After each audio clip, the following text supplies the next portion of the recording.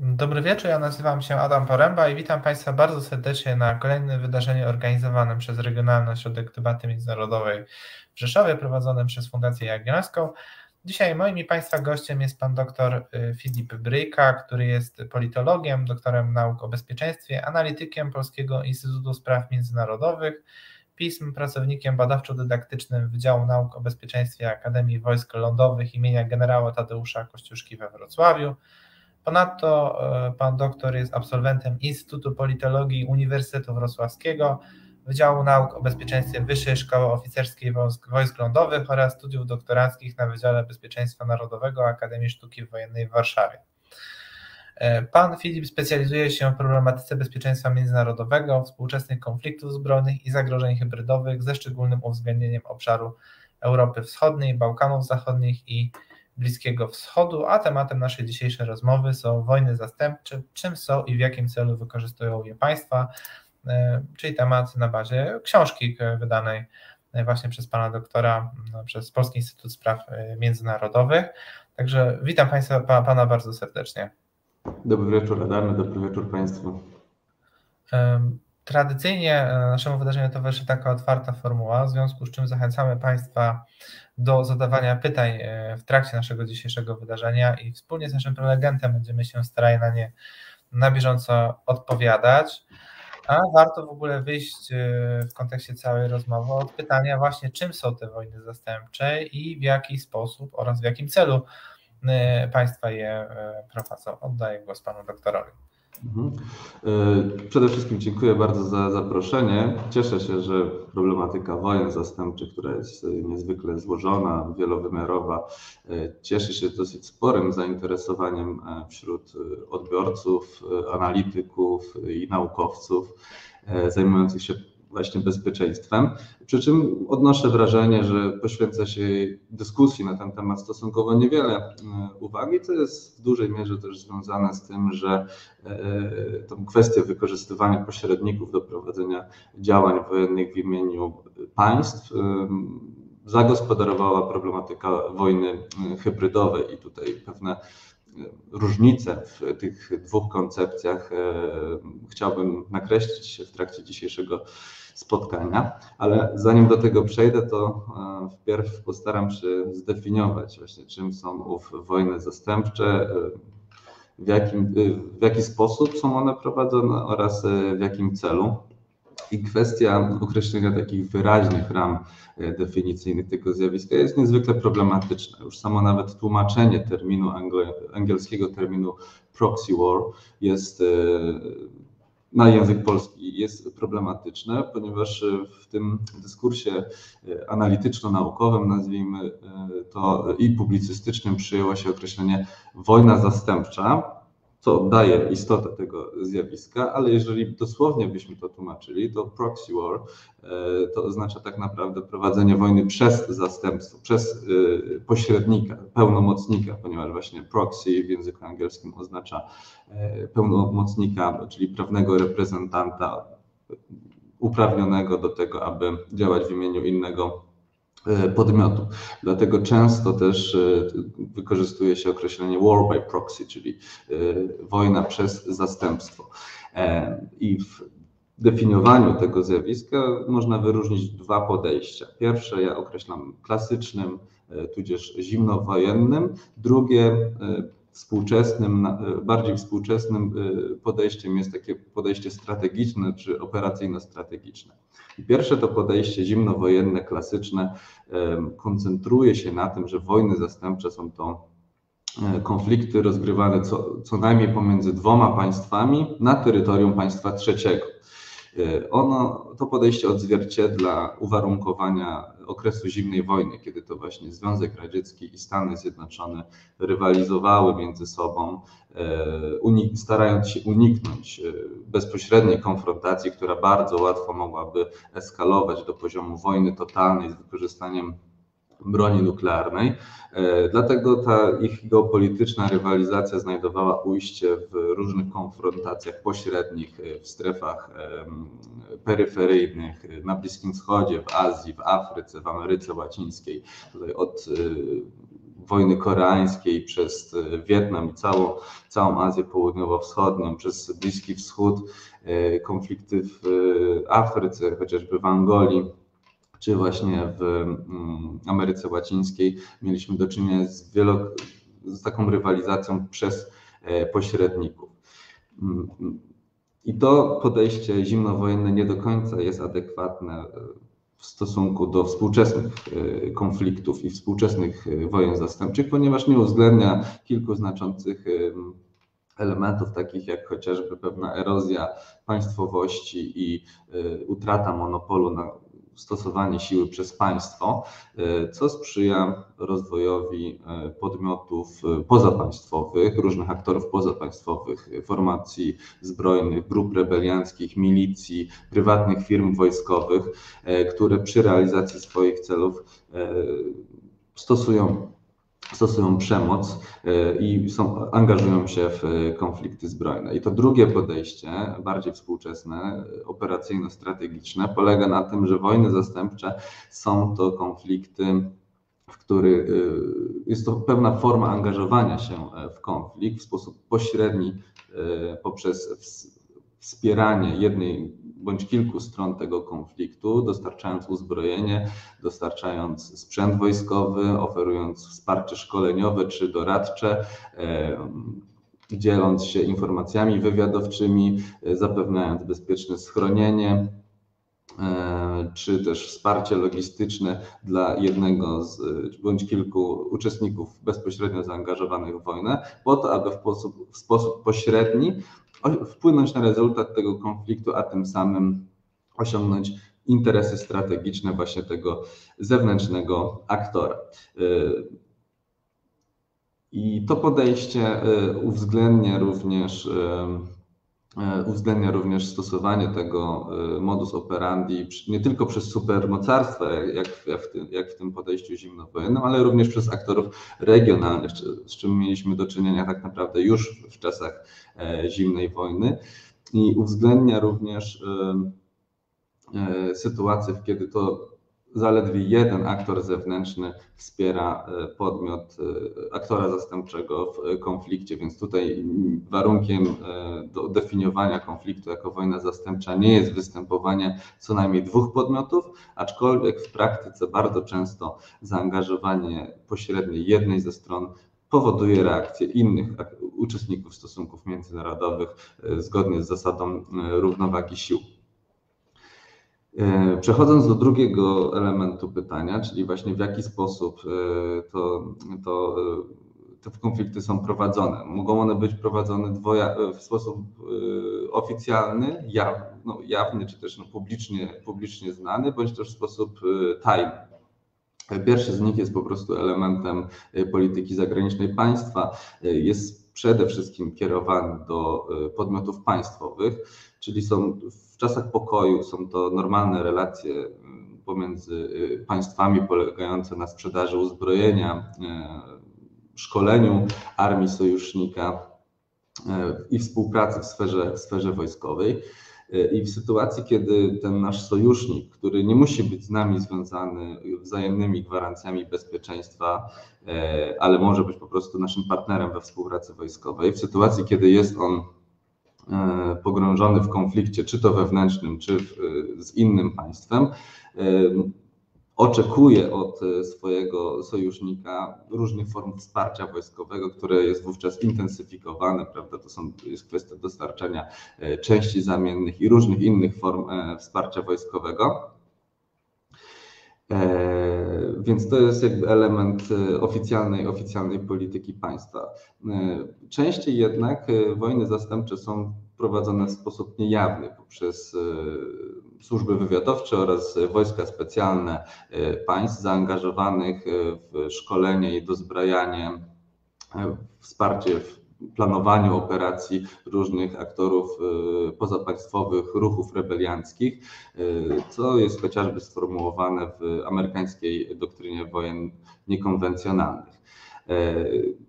Niektóre państwa, zwłaszcza właśnie mocarstwa, mają wyspecjalizowane struktury w wywiadzie i wojskach specjalnych, których odpowiadają za tego rodzaju operacje. Przykładem tego jest amerykański Special Activities Center działający w ramach CIA, który odpowiada za właśnie operacje paramilitarne. Do prowadzenia takich działań często wykorzystywane są takie zespoły zadaniowe łączące właśnie oficerów wywiadu i, i no, operatorów wojsk specjalnych. Tutaj przykładem dobrym jest aktywność grupy Joe Breaker i operatorów sił specjalnych amerykańskich w trakcie operacji Enduring Freedom. Po 11 września to właśnie amerykańscy oficerowie CIA i operatorzy wojsk specjalnych zostali jako pierwsi boots on the ground e, przerzuceni do Afganistanu, gdzie nawiązali kontakty z Sojuszem Północnym, z innymi też grupami dowodzonymi przez Rashida Dostuma czy Ismaila Hana, które to były główną siłą lądową, a otrzymywali wsparcie właśnie w postaci pieniędzy, w postaci uzbrojenia, a zaangażowanie sił amerykańskich koncentrowało się przede wszystkim na e, naprowadzania, e, wytyczania celów i naprowadzania amerykańskiego lotnictwa, czy też e, koordynowania ataków rakietowych. Więc to zaangażowanie bezpośrednie sił własnych było, było ograniczone.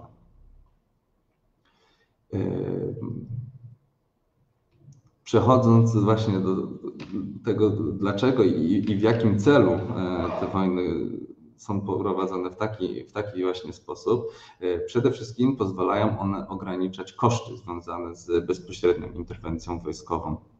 Koszty, koszty nie tylko finansowe, e, ale przede wszystkim polityczne, wizerunkowe, e, wynikające z no, z trudności przekonania opinii publicznej do tego, aby angażować swoje siły i środki, zwłaszcza w, w odległe regiony e, geograficzne.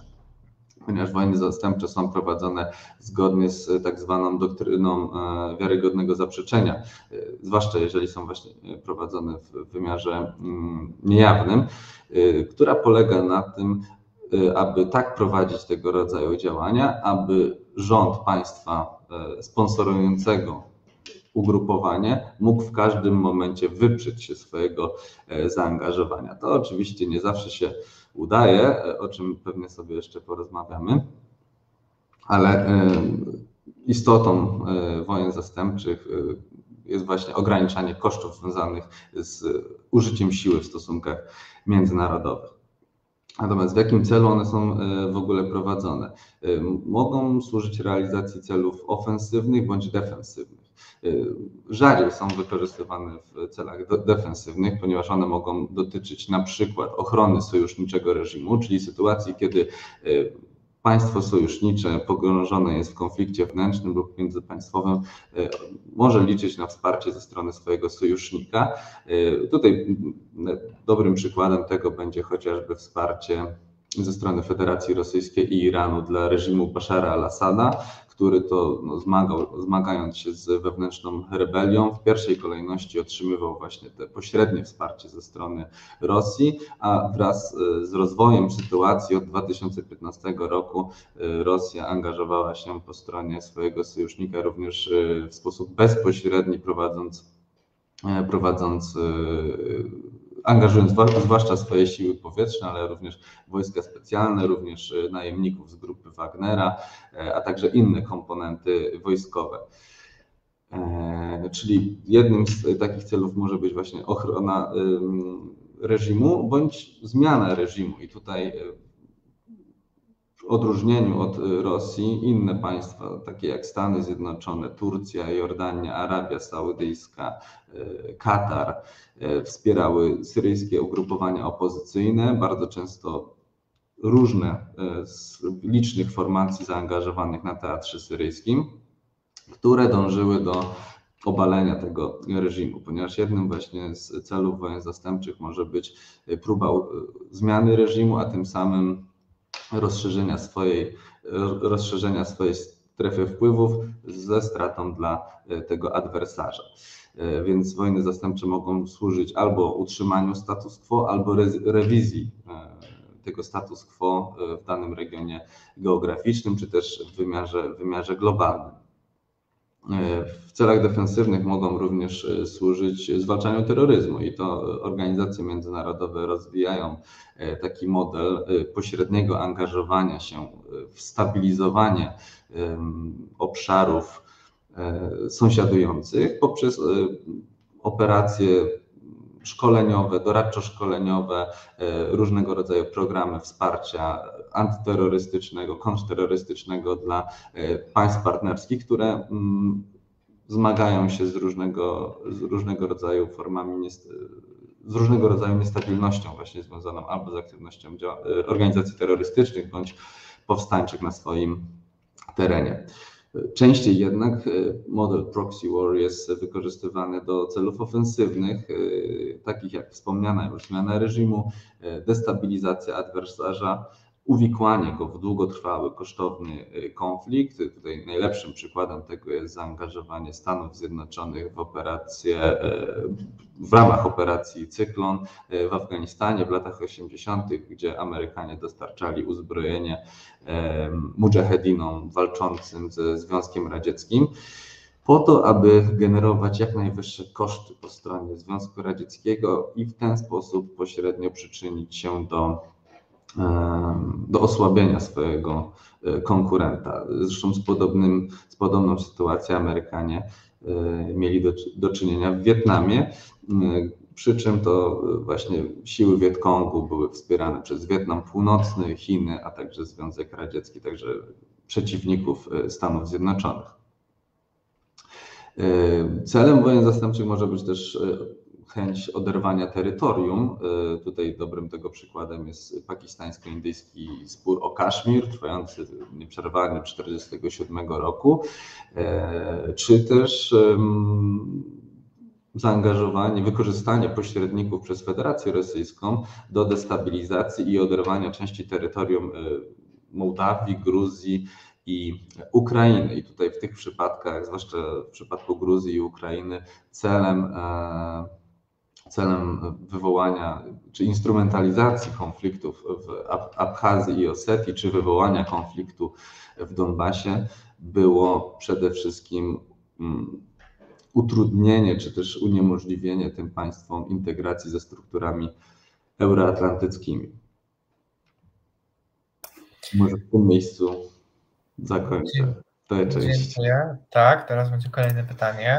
A kolejne pytanie dotyczy uwarunkowań systemowych, geopolitycznych i, geostrategicznych, które determinują występowanie tego rodzaju konfliktów.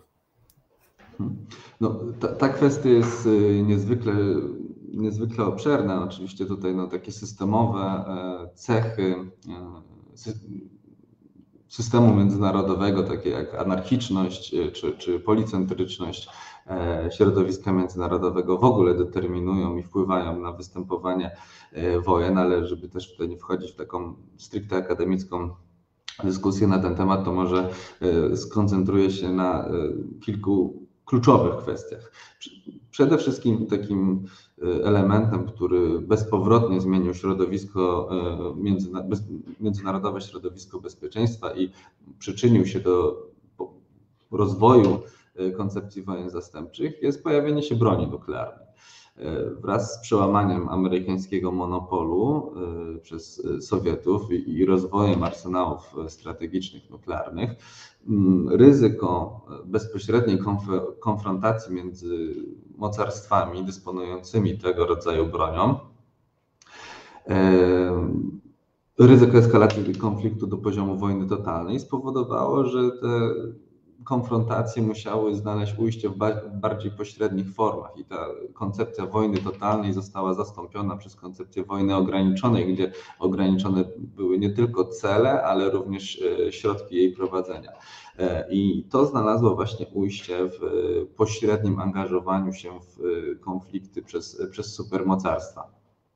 E, zwłaszcza rozwinęło się to po latach, w latach 60., kiedy to e, mocarstwa osiągnęły taki status, taki poziom swoich arsenałów strategicznych, gdzie mieliśmy do czynienia z tak zwaną sytuacją MAD, czyli Mutual Assured Destruction, sytuacją, gwarancją wzajemnego zniszczenia, która powodowała, że tak naprawdę konflikt nuklearny był, przestał być racjonalny, racjonalnym elementem. Oczywiście mocarstwa zachowały i wciąż zachowują swoje zdolności do odstraszania w tym, w tym zakresie. Niemniej jednak e, ich konfrontacje znajdują ujście właśnie w pośrednich formach angażowania się w e, konflikty zbrojne.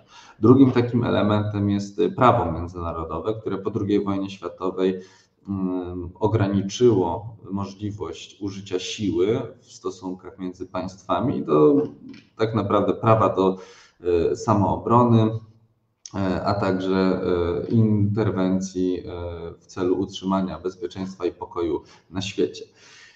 I tak, właśnie, tak naprawdę są to dwa, dwa wyjątki od zakazu użycia, użycia siły. To oczywiście nie zmieniło takiej natury, charakteru stosunków międzynarodowych i państwa korzystają z instrumentarium wojennego do realizacji swoich swoich celów, przy czym aby ograniczać e, koszty e, polityczne z tym związane, często właśnie korzystają z e, pełnomocników, z pośredników. I to też było dużym wyzwaniem dla prawa międzynarodowego, które nie za bardzo potrafiło przez lata odnieść się do, do, do, do tych kwestii. Dopiero w latach 70., w 1974 roku powstała definicja agresji i y, katalog zachowań, które są uważane za, za agresję. I oczywiście tutaj jednym z nich jest organizowanie, wysyłanie y, grup zbrojnych, organizacji terrorystycznych czy najemników przez państwa do, do prowadzenia właśnie e, działań na terytorium innego państwa. Także jest to e, czyn zakazany przez e, prawo międzynarodowe. Jednak no, niedoskonałości Organizacji Narodów Zjednoczonych i sposobu podejmowania decyzji w tej organizacji, zwłaszcza w Radzie Bezpieczeństwa, gdzie pięciu e, członków stałych dysponuje prawem weta, powoduje, że ten system międzynarodowy e, umożliwia mocarstwom, e, umożliwia tym pięciu państwom blokowanie rezolucji, które mogłyby legitymizować interwencje, interwencje wojskowe, które mogłyby zaszkodzić ich sojusznikom. I z takim impasem decyzyjnym. Mieliśmy w dużej mierze do czynienia w czasie e, zimnej wojny e, z pewnymi wyjątkami w zakresie operacji pokojowych e, i z takim impasem często mamy do czynienia współcześnie, czego, czego najlepszym przykładem jest Syria i, i kilkanaście, kilkanaście razy zastosowane weto przez Rosję uniemożliwiające państwom społeczności międzynarodowej społeczności międzynarodowej e, zaprzestaniem e, humanitarnego kryzysu związanego z wojną domową w tym, w tym kraju. E, także ten system wciąż, wciąż funkcjonuje w, w oparciu o te same mechanizmy i raczej nie ma apetytu na to, aby go reformować. Więc to będzie sprzyjać jak najbardziej. I zaledwie w kilku przypadkach tak naprawdę ONZ y, potępił y, właśnie angażowanie się w wojny zastępcze przez, przez inne państwa i to były jakieś marginalne, znaczy marginalne z naszego punktu widzenia y, kwestie typu Sierra Leone i, i Sudan, a w wielu przypadkach przypisanie państwu zachowań agresywnych właśnie w związku z wspieraniem ze wspieraniem jakiegoś ugrupowania paramilitarnego rebeliantów jest niezwykle trudne. I tutaj Międzynarodowy Trybunał Sprawiedliwości chociażby e, orzekał w tej sprawie w przypadku wsparcia amerykańskiego dla Contras i tutaj są jakby dwa elementy Y, pozwalające przypisać odpowiedzialność państwu za y, działanie te, tego rodzaju podmiotu.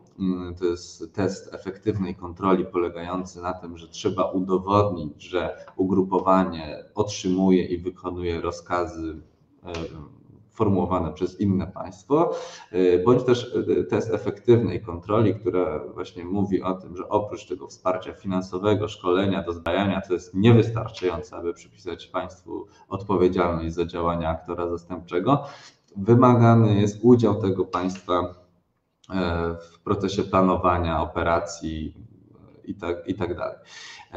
I to jest niezwykle ciężkie do, do udowodnienia, czego najlepszym przykładem jest e, sytuacja na Ukrainie, gdzie wydaje nam się, że, że tak naprawdę sytuacja jest jasna, zwłaszcza biorąc pod uwagę, że w konflikt ten e, nie tylko są zaangażowani e, pośrednicy w postaci ugrupowań zbrojnych Doniecki, do, na obszarze Doniecka i Ługańska, ale także zawodowi żołnierze wojskowi, pozbawieni, pozbawieni dystynkcji, pozbawieni y, oznak rozpoznawczych jednostek regularnej rosyjskiej armii, do których należą.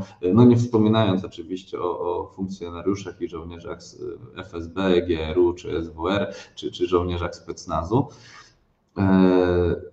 Dodając do tego, że, że w przypadku Ukrainy Mieliśmy nawet sytuację, że dokonywano ostrzału artyleryjskiego z terytorium, z terytorium e, Federacji Rosyjskiej i, i mimo takiej sytuacji no, przypisanie agresji e, Rosji na Ukrainę na, na tej płaszczyźnie prawno-międzynarodowej jest niezwykle e, trudny. Także broń nuklearna i prawo e, międzynarodowe to z pewnością takie dwa czynniki, tak zwane modyfikatory strukturalne, które e, wpływają na występowanie wojen zastępczych i umożliwiają państwom realizację celów strategicznych z użyciem siły przy akceptowalnych przez nich kosztach i ryzyku, bo oczywiście koszty są, tym, takim kosztem chociażby mogą być sankcje, e, ale jeżeli w grę wchodzą interesy strategiczne, takie jak chociażby kontrola e, Krymu, który z punktu widzenia rosyjskiej marynarki wojennej jest, jest niezwykle cenny, e, aktorzy mogą akceptować te koszty w postaci sankcji w tej sytuacji. E, natomiast jeżeli chodzi jeszcze o takie geopolityczne i geostrategiczne uwarunkowania, to e, oczywiście wojny zastępcze występują przede wszystkim w miejscach, które są niestabilne e, z różnych względów. No, jednym z tych powodów może, mo, może być właśnie ingerowanie aktorów zewnętrznych, ale najczęściej są to państwa, które są podzielone etnicznie, religijnie, na obszarze, których występują tendencje odśrodkowe, ruchy separatystyczne, e, czyli e, miejsca, gdzie e, łatwo jest inspirować i, zasilać wewnętrzne podziały i wywoływać konflikt, aczkolwiek nie zawsze ten czynnik inspiracji jest niezbędny. Czasami te konflikty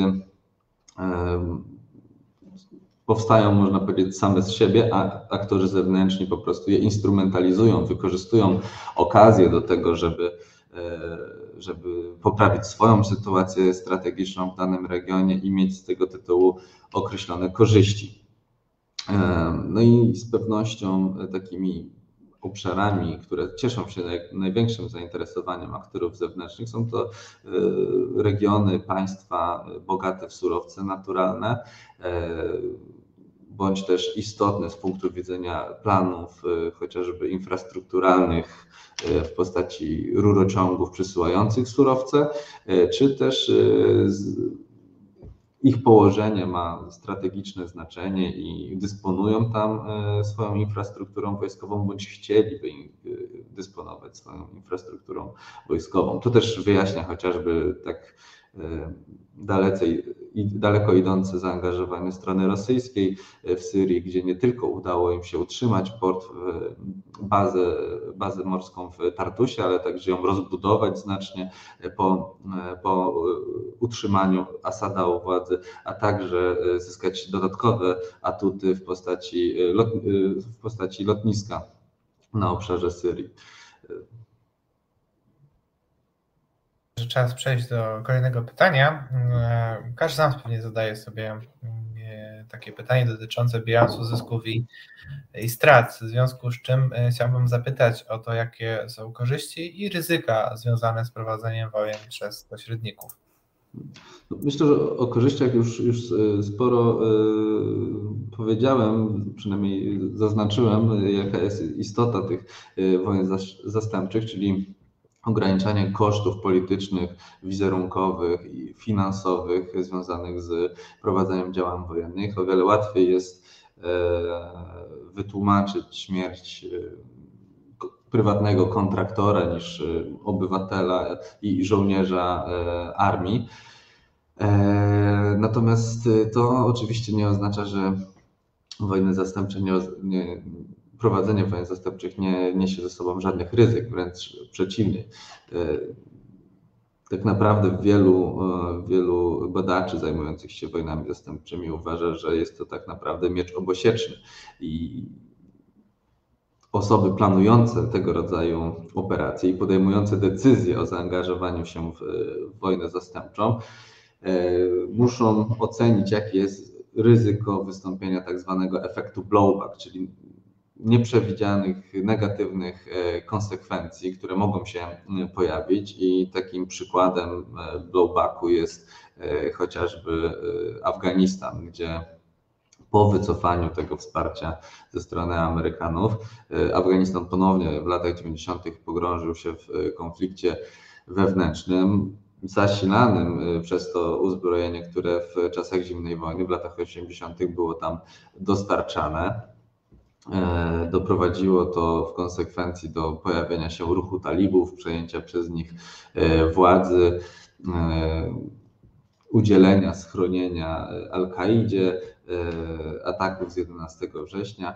E, i tutaj bardzo często amerykańska administracja była krytykowana i wykazywano, że e, gdyby nie ta polityka Związku, przepraszam, Stanów Zjednoczonych wobec Afganistanu w kontekście rywalizacji ze Związkiem Radzieckim, to być może do ataków z 11 września by nie doszło. I konsekwencją taką długofalową tego było to, że to uzbrojenie, osławione Stingery, czyli zestawy przeciwlotnicze e, dostarczane mujahedinom były później w Afganistanie wykorzystywane przez, przeciwko wojskom amerykańskim, wojskom natowskim i duży wysiłek państw e, NATO, ich wywiadów był zorientowany na to, aby te pozostałości tych Stingerów, bo częściowo one zostały odzyskane E, na wcześniejszym etapie, aby te pozostałości e, przejąć, przejąć nad nimi kontrolę.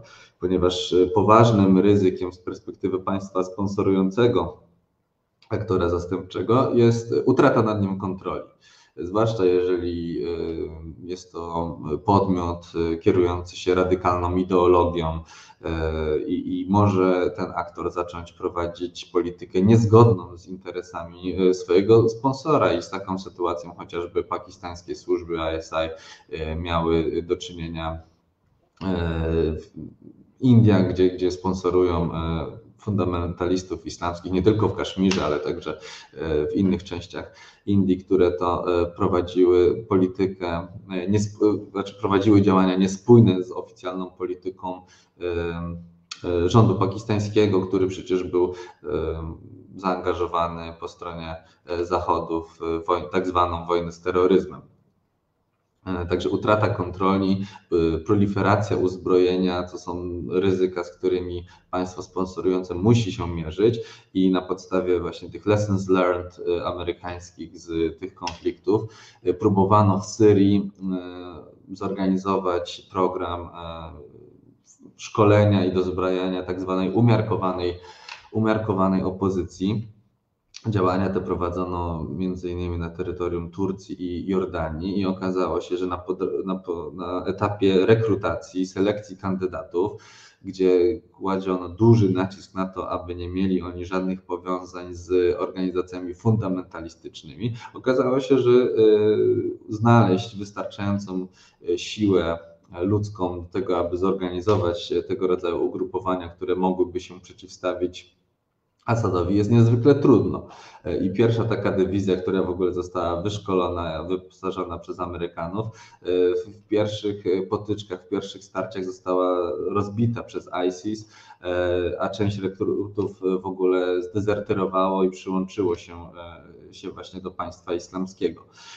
Z tego względu też po kilku, kilku modernizacjach, reformach tego, tego programu za czasów Obamy, ale później za Donalda Trumpa, zdecydowano się w ogóle z niego zrezygnować i y, swoją, swoje zaangażowanie, swoje wsparcie skierowano na syryjskie siły demokratyczne, czyli y, koalicję ugrupowań e, zbrojnych, y, których trzon tworzyły ugrupowania kurdyjskie. E, kurdyjskie w Syrii. I tutaj e, zdecydowanie skuteczność tej polityki była zdecydowanie większa w porównaniu do tego programu szkolenia umiarkowanej, umiarkowanej opozycji. Tutaj też wiele kwestii na, na poziomie koordynacji działań z partnerami regionalnymi, z Arabią Saudyjską, Jordanią i Turcją zawiodło, ponieważ często państwa te wspierały inne ugrupowania, które częściowo miały zbieżne interesy, częściowo rozbieżne, e, nie koordynowały swoich e, działań operacyjnych, co powodowało, że osiągnięcie tego wspólnego celu w postaci usunięcia reżimu Bashara al-Assada e, było utrudnione. To zresztą też odróżnia e, wojny zastępcze czasów zimnej wojny od współczesnych konfliktów, że obecna sytuacja jest o wiele bardziej złożona, o ile w tym bipolarnym, dwubiegunowym e, systemie międzynarodowym sytuacja była dosyć czytelna, można powiedzieć prosta, e, zawsze zawsze jedna ze stron była sojusznikiem jednego, jednego z bloków, druga opozycyjnego, prawda, o tyle współcześnie liczba aktorów, też regionalnych zaangażowanych w konflikty zastępcze często powoduje, że e, te linie sojuszy zbieżnych i rozbieżnych interesów zacierają nam ogląd sytuacji i, i, i, w przypadku Syrii czasami ciężko było e, się e, zorientować, które państwa, które podmioty ze sobą współpracują, a które ze sobą walczą, ponieważ to potrafiło się zmienić dosłownie z dnia na dzień. Tak, także jeszcze wracając do, do meritum tego pytania, o którym było negatywne, negatywne konsekwencje, no to można e, stwierdzić każdorazowo, że e, instrumentalizacja konfliktu i zasilanie go przez aktora zewnętrznego sprzyja przedłużaniu się walk, wzrostowi liczby ofiar, często brutalizacji, no bo nierzadko konflikty te mogłyby wcześniej zostać wygaszone w obliczu braku zasobów do ich kontynuowania i jedna ze stron musiałaby, musiałaby zakończyć działania wojenne. Natomiast jeżeli otrzymują one wsparcie z zewnątrz, to kontynuacja walki jest możliwa, e, co często właśnie prowadzi do tych negatywnych konsekwencji. Działa to destabilizująco nie tylko na państwa, ale i na całe regiony. Takim poważnym ryzykiem jest E, rozlanie się konfliktu na inne państwa. I tutaj dobrym przykładem jest sytuacja w Afryce, gdzie e, Demokratyczna Republika Konga od lat 60. właściwie była pod stałym takim e, wpływem takiego oddziaływania ze strony Belgii, Francji, Stanów Zjednoczonych, Związku Radzieckiego, ale później po zakończeniu zimnej wojny też angażowała się w we wspieranie e, e, konfliktów w Ruandzie, e, oddziaływała na Ugandę. No i to troszeczkę się, mm, troszeczkę się zwróciło przeciwko Kongu, które w roku 98 stało się obszarem tak zwanej afrykańskiej wojny światowej, w której zginęło ponad 5 milionów ludzi, o czym, o czym rzadko się słyszy i mówi w Polsce. I konflikt ten było zaangażowanych kilkanaście państw z regionu. E, to oczywiście podłożem tego konfliktu w dużej mierze były e, bogactwa naturalne, jakie są zlokalizowane w Kongo.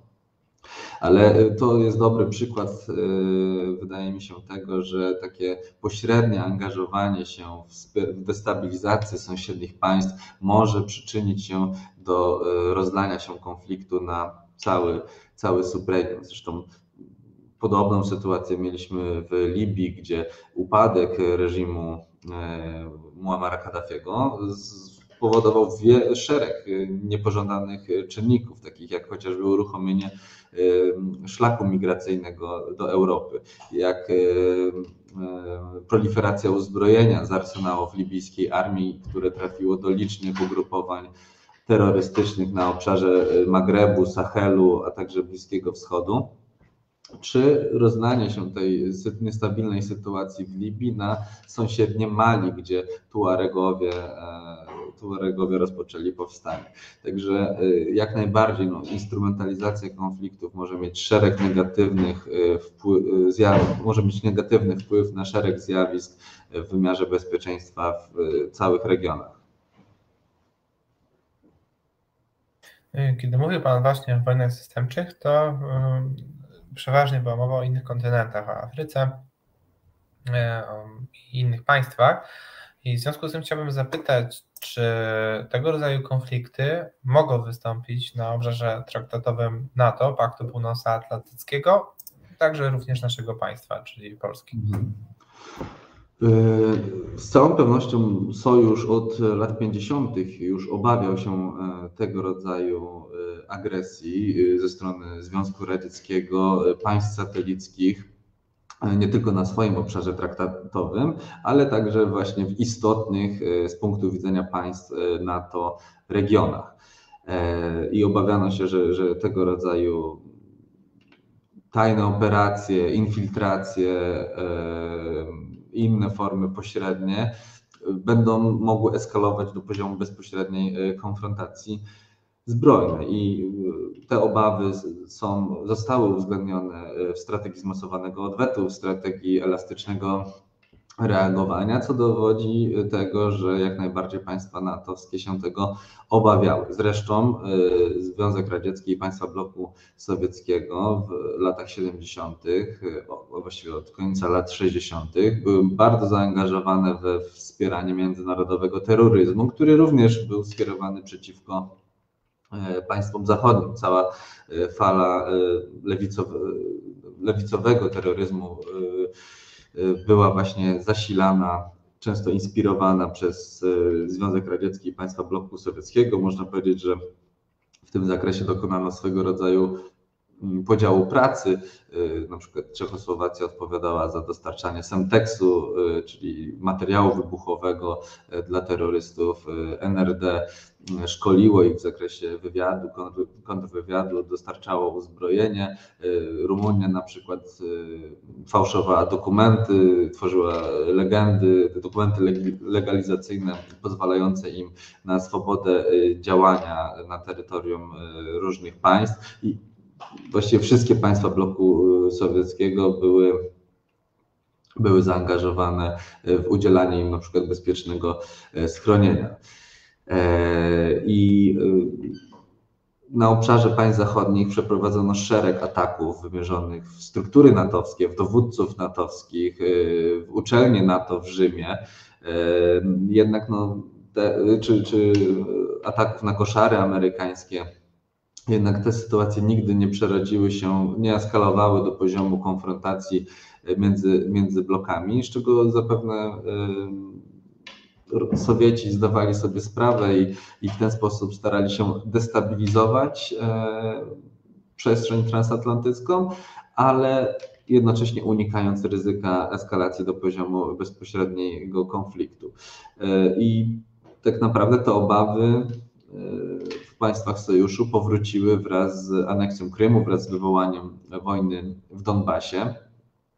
I y, sytuacja obecna jest oczywiście w ramach NATO zgoła odmienna, ponieważ takie państwa jak Estonia czy Łotwa, mające dużą y, grupę etniczną, y, rosyjskojęzyczną, jak najbardziej może, mogą obawiać się takiego scenariusza, z jakim mieliśmy do czynienia w Donbasie. Przy czym mm, w mojej ocenie prawdopodobieństwo przekroczenia tego, tego, tej granicy, tego progu e, i, i, wywołania konfliktu na obszarze e, traktatowym, na obszarze państw NATO i ryzyko uruchomienia artykułu 5 o obronie kolektywnej powoduje, że e, taki scenariusz jest mało prawdopodobny, co nie zmienia faktu, że nie możemy go wykluczać i tutaj e, struktury natowskie są zaangażowane w monitorowanie tej sytuacji, a sojusz jako całość też dostosowuje się do tych nowych wyzwań, czego dowodem są decyzje podejmowane od e, szczytu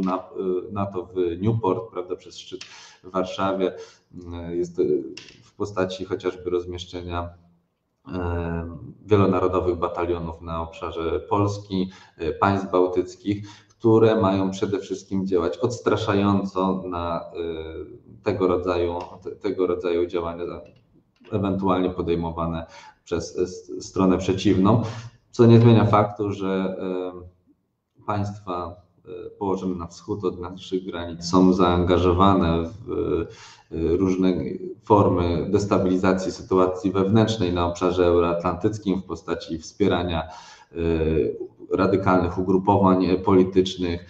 Też pojawiały się niepokojące kwestie powiązań różnych ugrupowań paramilitarnych w państwach NATO i Unii Europejskiej o profilu sprzyjającym Rosji, antyamerykańskim, eurosceptycznym, antyukraińskim, e, więc oczywiście powinniśmy, powinniśmy monitorować te kwestie, analizować i im przeciwdziałać. Do tego są powołane odpowiednie instytucje we wszystkich państwach i, i sojusznicy dzielą się informacjami na ten temat, ponieważ nie możemy wykluczyć, że, e, że przeciwnik spróbowałby stestować naszą solidarność i spójność sojuszniczą i czy, czy ten artykuł 5 e, byłby uruchomiony, przy czym oczywiście e, NATO wysłało wyraźny sygnał, że tego rodzaju działania e, mogą, będą wiązać się ze wspólną odpowiedzią i uruchomieniem artykułu 5, więc ja myślę, że ta siła odstraszania sojuszu polityczno-wojskowego jest jak najbardziej skuteczna. Zresztą okres zimnej wojny dowiódł tego, że, że te mechanizmy się sprawdzają i jestem przekonany, że tak też e, będzie. Nasza rozmowa powoli dobiega końca, ja pozwolę sobie zadać jeszcze dwa pytania. E, teraz przenosząc się już do bieżących spraw, czyli do konfliktu na granicy e, Polski i Białorusi. I w związku z tym właśnie chciałbym zapytać Pana, czy to zamieszanie, które obserwujemy e, obecnie właśnie na granicy polsko-białoruskiej, czy ono może przerodzić się właśnie w tego rodzaju konflikt? Hmm. No, póki co oczywiście nie mamy do, do czynienia z konfliktem, ale z kryzysem sztucznie oczywiście wykreowanym przez e, białoruskie państwo, e, które za pomocą presji migracyjnej, e, skoordynowanej z e, działaniami w przestrzeni dezinformacyjnej i z różnego rodzaju prowokacjami, e, stara się osiągnąć swoje cele, które myślę, że są ogólnie, ogólnie rzecz biorąc znane debacie w Polsce, no bo to są sprawy kluczowe z punktu widzenia naszego bezpieczeństwa. No i mm, no, moglibyśmy tutaj na zasadzie takiej analogii powiedzieć, że Łukaszenka wykorzystuje migrantów jako pośredników, I możemy też się zastanawiać, czy w tej sytuacji Łukaszenka nie jest e, pośrednikiem e, swojego sojusznika w postaci Federacji Rosyjskiej. Przy czym, tak jak wspomniałem, odpowiadając na wcześniejsze pytanie, wydaje mi się, że ryzyko eskalacji tej sytuacji do poziomu konfliktu i, i, takiego konfliktu zastępczego jest raczej mało prawdopodobne. To jest z całą pewnością operacja hybrydowa, można tak to określić, e, ponieważ e, właśnie, jak zamarkowałem na wstępie, e, czym różnią się wojny zastępcze od, od wojen hybrydowych. Tak naprawdę wykorzystywanie pośredników jest tylko jednym z elementów działań hybrydowych, które są o wiele szerszą kategorią pojęciową, bo uwzględniają także działania w cyberprzestrzeni, działania informacyjne, psychologiczne, szantaż ekonomiczny, E, czyli wykorzystanie narzędzi ekonomicznych, politycznych, dyplomatycznych. E, I, i wojna, wojnę hybrydową cechuje to, że te działania to nie są poszczególne incydenty, tylko są one e, skoordynowane, prowadzone przez jeden ośrodek w celu osiągnięcia określonych celów i interesów strategicznych. I to na pewno możemy zaobserwować w przypadku sytuacji na granicy, przy czym w mojej ocenie no, przekroczenie granicy Polski przez y, jakieś zielone ludziki, y, które dokonywałyby jakiejś infiltracji czy też y, aktów dywersji, sabotażu, no, uruchomiłoby artykuł 5 i, i wspólną odpowiedź sojuszniczą, więc myślę, że tutaj strona przeciwna nie posunęłaby się do, do tego rodzaju działań, ponieważ wówczas moglibyśmy mówić o o właśnie konflikcie, nawet konflikcie zbrojnym, a nie o sztucznym kryzysie, który ma określone cele polityczne. E, przy czym, to co warto w tym kontekście podkreślić, to e, scenariusze e, manewrów Zapad, gdzie przecież ich, ich głównym, główną, główną problematyką jest właśnie wspólne reagowanie Białorusi i Rosji na sytuację, gdzie państwa zachodnie, w domyśle tutaj Polska i Litwa, wspierają różnego rodzaju tendencje odśrodkowe na obszarze, e, na obszarze Białorusi, obszarze zamieszkiwanym przez e, mniejszość polską, przez katolików. W 2017 i 2021 roku w trakcie obecnych, ostatnich, przepraszam, manewrów Zapad mogliśmy zaobserwować. I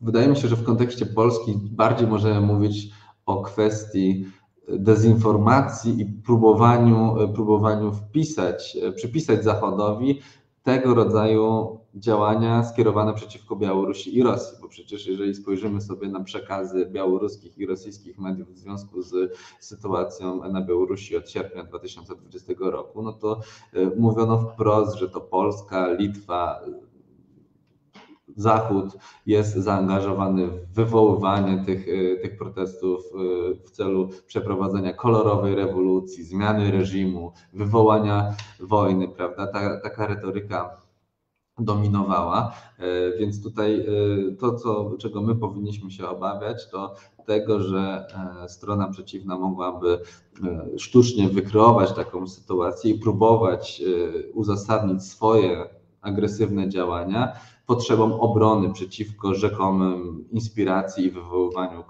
tego rodzaju konfliktu przez e, Polskę, Litwę, czy, czy mówiąc ogólnie e, Zachód.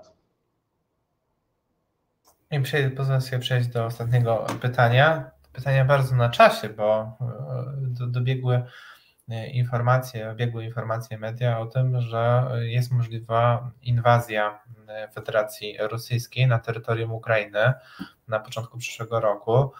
E, nie jest to wiadomość dobra. E, jest także jedna z hipotez mówiąca o tym, że te wydarzenia na granicy polsko-białoruskiej to e, właśnie próba odwrócenia uwagi od działań Federacji Rosyjskiej właśnie na kierunku ukraińskim. W związku z tym chciałbym zapytać, do którego miejsca zależałoby Federacji Rosyjskiej właśnie na, do inwazji na Ukrainę faktycznie? Czy może do tego dojść? Wydaje mi się, że, że dalsze zaostrzanie relacji Rosji z Zachodem raczej, raczej nie będzie korzystne z punktu widzenia tego państwa. Raczej ja tutaj widzę Rosję, która na tle tego kryzysu na naszej granicy stara się przedstawiać jako taki konstruktywny partner do rozmów z Zachodem i nawet pośredniczenia w rozmowach pomiędzy Łukaszenką a, a Unią Europejską. Oczywiście celem, celem Rosji w tym kontekście byłoby e, zniesienie sankcji e, gospodarczych. Zresztą podobne cele e, można przypisać Łukaszence. Oprócz tego właśnie legitymiz zalegitymizowanie jego fałszerstw wyborczych, co oczywiście jest sprzeczne z, ze stanowiskiem Zachodu. Przy czym to, co się dzieje wokół granic Ukrainy jest niezwykle niepokojące, jest bardzo niepokojące, ponieważ od e, kilku tygodni obserwujemy koncentrację wojsk i tutaj e, ukraiński wywiad e, no, wskazuje wprost, że w ich ocenie na początku przyszłego roku można się spodziewać pełnoskalowej agresji ze strony Federacji Rosyjskiej. Przy czym no, pamiętajmy, że to nie po raz pierwszy tego rodzaju spekulacje i scenariusze się pojawiają. I y, wydaje mi się, że gdyby Rosji zależało na y, wchłonięciu większej części y, Ukrainy, przecież gdyby Rosja tak naprawdę chciała inkorporować Donbas, to mogła to zrobić o wiele wcześniej. Przy czym celem Rosjan wobec, wobec konfliktu na wschodzie Ukrainy jest raczej to, aby utrzymywać go jako taki konflikt zamrożony, który dowolnie można odmrażać, intensyfikować skalę walk w zależności od sytuacji politycznej na Ukrainie, po to, aby wymusić na Kijowie pewne, pewne ustępstwa. Więc wydaje mi, się, że, wydaje mi się, że skoro tak bardzo mówi się wokół tego, co się dzieje wokół ukraińskich granic, tak naprawdę żadne działania za tym e, nie będą, e, nie będą kontynuowane, bo gdyby Rosja rzeczywiście przygotowywała się do, e, do agresji, do, wykonała, wykonałaby szereg działań maskujących, maskujących i być może przy okazji właśnie manewrów wojskowych, co zresztą wielokrotnie wykorzystywano chociażby w Gruzji, wówczas przeprowadzono by jakieś działania ofensywne, a w kontekście obecnej sytuacji wydaje mi się, że, że to y, również ma zasilać ten front walki informacyjnej, e, a nie, a nie rzeczywiście y, stwarzać zagrożenie, bezpośrednie zagrożenie dla Ukrainy. I tutaj postawimy kropkę. E, bardzo serdecznie dziękuję za przyjęcie naszego zaproszenia, za ciekawą, merytoryczną rozmowę i mam nadzieję, że do bliskiego zobaczenia. Dziękuję również.